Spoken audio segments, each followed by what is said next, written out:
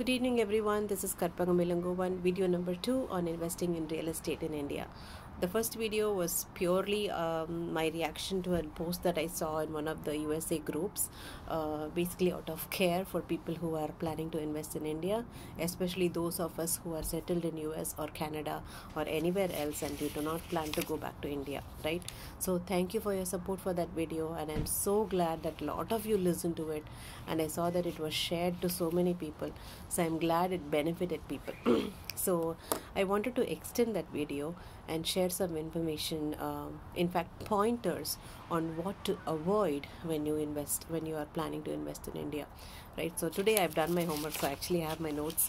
I'm going to read it out of, I'm going to take the pointers from there and actually give you actual scenarios. These were scenarios that were faced by my friends, family, and some of them even by myself, right? So uh, two things right? So one if you're planning to invest in a in a residential property especially if you want to go live there people who have settled outside and you want to return to india and go settle down there. So if you want to go live there right? So uh, when you're thinking about uh, everybody in India is very very uh, towards or, or very for um, investing in properties that are in main roads so main areas இது ரொம்ப main area they'll say like that right but uh, living outside in, in this peace and quiet you won't be able to cope up with that traffic so if you're looking for a house for yourself to construct a house for yourself in India, look for a, for something that's in, a, in local areas, like inside somewhat uh, uh, tucked away areas within the city, or if, or in local towns. In Chennai, for example, I found Karpagam Gardens, Arepuram.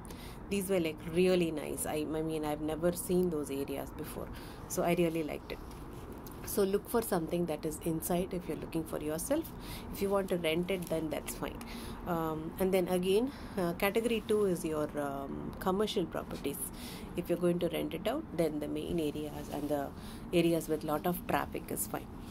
Uh, now i'm going to give you pointers on what to avoid right uh, when you're investing. So if there is a school in the area in the around the place that you're looking for. It could be a constructed house that you're trying to um, uh, buy but if you're going to find a school somewhere within a kilometer or two within the school be very very careful because the traffic becomes a big problem for residents who live around the school uh, especially if there are school functions or anything the entire area gets blocked you won't be able to remove your own cars i lived personally in uh, in uh, in two different areas um, in chennai one was in Neelankarai, which was far away, so that school was not a big problem. But we lived in Adyar and Mandaveli, so I would feel so bad for residents who lived around those schools. So a big chaos when you when you take some uh, uh, property around a school. Number two is if there's a dump yard. Um, in Chennai, if you see, I think this is on um, um, towards uh, from Velachery towards Perungudi. If you go, um, uh, there's a big Saravana stores. I, uh, Kamakshi Hospital, I think. Across that, there's a huge dump yard. Uh, is it Pallikaranai? I'm not sure. So if there's a dump yard like that, and there are smaller dump yards within the town also. So if you see anything like that, please avoid. So please investigate if there are any any uh, dump yards around the property that you're trying to invest. Number three is there are sewer processing units in the city. So the smell is like unbelievable. You won't be able to settle down in such a space. Um, there is no peace of mind with that uh, horrible smell. So I, I i really don't know how how those are even available inside the city. So avoid sewer processing units. If you're um, investing in a property uh, knock out the property. Don't invest in something that has a sewer processing unit in the vicinity. Number four is um, if there is an electric unit right? Like that electricity board that you call in india it could be like a main main connection board for the area. So if that box is sitting just uh, next to your property or just next uh, next door or something try to avoid that kind of properties. Because even if it is two doors down and somebody else uh, who's who has a big establishment or or you know um, has some influence uh, takes that property then they will move that box to your compound. So that's always a headache. So try to avoid avoid those. And number four i have written down is uh, uh, phone towers, cell phone towers. Um, my mom's house, uh, behind her house, uh, there was an owner who rented their uh, terrace to Aircel or Airtel, I'm not sure. So that's like a huge structure that suddenly shows up uh, behind you, uh, your property. So avoid that kind of a situation because I heard the vibrations from the cell, cell phone tower is not good for uh, human beings and even for animals and birds. Um, and even in that structure you never know what would happen you know in, in a storm or if, it, if that huge structure imagine it falls on your house. So avoid that. So these are the things that i wrote down to avoid which is um, a very busy school around the property because it's going to be a big traffic hazard for you. Number two a dump yard. If there is a dump yard around the property that you are planning to invest in um, a sewer processing unit so try to avoid that. Um, huge electric boards try to avoid that and then um, huge phone towers that they are available and then the next scenario i'm going to talk about is is a little bit of sensitive topic like this jb movie right uh, one of my friends had a property um, somewhere uh, towards Muttukadu, which is uh, um, on ECR, I think. So the broker or the agent uh, sold it to this person who was an NRI, saying that's a beautiful property, you should invest in it. And then he had a very tough time uh, getting rid of that property because around that area there was an establishment uh, like a slum slum establishment or something like that so definitely be careful because we don't know sitting here what are the surroundings in that uh, space or what communities or what establishments are there. So that was a huge loss that was taken by a friend but somehow we got rid of that property. So these are the points to avoid right that i told you. And now i'm going to give you some real scenarios that was faced by friends.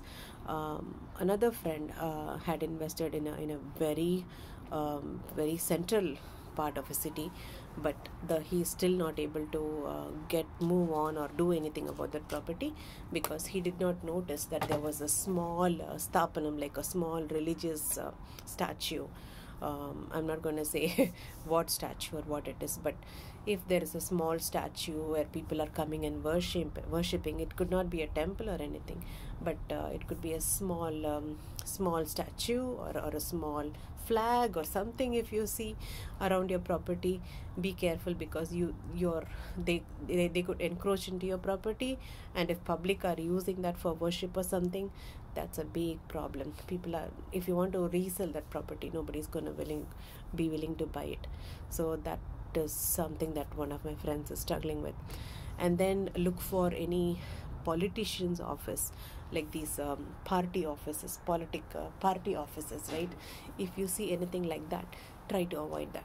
Uh, because uh, people who live around these polit- politicians offices um, face with meetings that happen um, gatherings that happen around the politician's office. So traffic is blocked. If someone big is visiting the politician's office or some some riot or something happens some revolution happens then all these people around that area are in are in threat. So avoid that also. Uh, the other point that i have written is um, yeah when you are um, trying to trying to um, finalize a property look if anybody else was using that property if the owner was not there if if a place is vac- vacant for quite some time there could be like local dadas rowdies who would just come use the use empty vacant lands to just um, come and have some gala time. They would play cards or drink for some time. So when that property gets sold to you and then you're trying to do something about the property they're not going to let go of it. So there would be some threat there.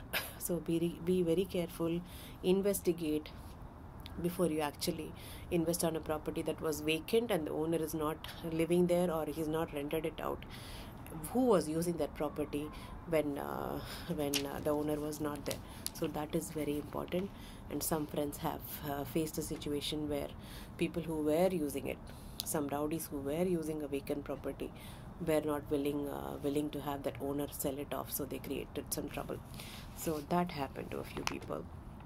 And then uh, I've written down um, uh, when you actually have a current resident or a tenant, be be it residential or a commercial property, make sure your terms are correct. You um, make sure the owner your current owner who's selling it to you has the property vacated before they hand it over to you because especially in commercial properties if you buy it as is you don't know what are the terms whether that person is going to continue to pay rent to you how long are they going to stay? And then how to have them vacated if if there there is any trouble and if you want new new tenants or new terms. So make sure the the the the, the occupants of the property that you are um, trying to close are uh, are either cleared out or the terms that are worked out with the current owner are very clearly documented and you have a new agreement with the tenants. So make that part very very clear. That is very very important. And then um, in some properties what happens is um, the owner who's trying to hand over the property to you will not have the property registered on their hand the original owner who sold to them would have given them a, given them only a power of attorney like a total power of attorney which is you have all the power to sell or whatever you want to do with the property but they would have taken the cash so in these cases it is very important that you have the original owner sign off and completely have the property registered to your name so in India, it's like finding a needle in a haystack when somebody is moved out of a city or moved out of the place that they lived in. So there were scenarios when someone had to track out an original owner who had just given a power of, power of attorney, and so they have a proper registration under their name. So that's a very important point. I know I'm going very fast. The videos would get very long if I um, elaborate in each of these scenarios, right? Um, so that is one thing and then when you're trying to when you're almost close to um, finalizing a property and and you're giving an advance get a proper receipt for that advance. Some people have given huge amounts of advances and if things doesn't work out it is very difficult to get the advance back. Especially in india people uh, try to save some tax and they just use cash transactions or some other means of transactions so there's a huge risk if the property doesn't come to your hand. So be very very careful about giving huge advances before you actually register the property to your name or you have a proper receipt or, or, or proper evidences of your transaction. And then finally congratulations. If you do close out a property immediately have a compound wall or a, or a fence built on top, around it. If you invest a, uh, invest this much of money invest a little bit more money into protect the property. Because um, once once a property is, is on a main road anybody's eyes are going to be on it especially if there are like local business people or you know as simple as someone can just immediately come and put a daba in your in your property because it is open it is available. It's on the main road. So uh, I've, I've seen scenarios where people had to pay huge amounts to have somebody just come and immediately encroach your property. So i've given a lot of scenarios. Listen to this video once or twice before you're thinking to thinking to invest these are only probably a few points that you need to consider. There are probably other points. But these are real scenarios that happened real situations that people have faced. That's why i've given you all these pointers. So at least you write them down and knock off if these are if you see any of these scenarios just knock it off. Don't invest in that property. So given all these points i want to give you a real story about um, a person that I used to see in Neelankarai, where I lived. It's a very nice area, very posh area. so there are two sides to the OMR. One is the side that is facing the beach, where there is all all these directors, business people. Even actor Vijay has a very big bungalow uh, facing the beach in Neelankarai. So uh, there used to all be all these posh buildings, and then I used to see an old man living in a like you know half constructed house. Not a very big property i would say maybe like a like a yeah probably a ground or so um, and then this is this half built property uh, not fully constructed. Just the bricks are laid out. I don't think he had even electricity connection but he used to uh, make a little bit of meal and then stay alone in that house. He used to clean out the yard and always i see him. And i wondered what he's doing in such a big posh area by himself so I when I walk my dog, uh, I used to see sometimes my dog used to run into that property, and I used to pull him out, and he used to shoo away the dog. so once I uh, by by blur I said sorry watch watchman next time I won't let my dog inside. And he was like uh, do you think i'm a watchman? I own this property ma i'm sorry. You thought i was a watchman i'm like i'm extremely sorry sir i didn't i didn't think that i didn't mean it i'm very sorry so and then he said that you know all of his relatives are were behind him um, I don't know about if he had children or what he said, I don't remember. But he was pretty much uh, safeguarding this property. Uh, he didn't even have electricity, and I think he was retired. I don't know if he had a job, uh, a proper job to take care of himself. But just because he had this property, he was locked. Uh, think about I, I used even even now I think about him. If he had the freedom, if he didn't have that property, how free he is he can just retire or just just go settle in some ashram or somewhere be be peaceful right so properties huge investments. Some people have made very big luck out of it. Especially uh, prior to even today i was talking to my cousin. Especially prior to 2000 um, 2000s it was probably a big thing but now the it's it's a big headache to invest in properties and maintain them and all that especially investing in india with all these hassles and all that. So again this video is only for people who are living outside india and you want to and you are not used to all that um, havoc and chaos or chaos and you don't have help uh, locally to take care of all this. So be happy be peaceful. God bless you. Um, do invest but be be very very careful and consider all these points that i mentioned. Okay? Thank you very much. Signing off. Karpagam Elangovan bye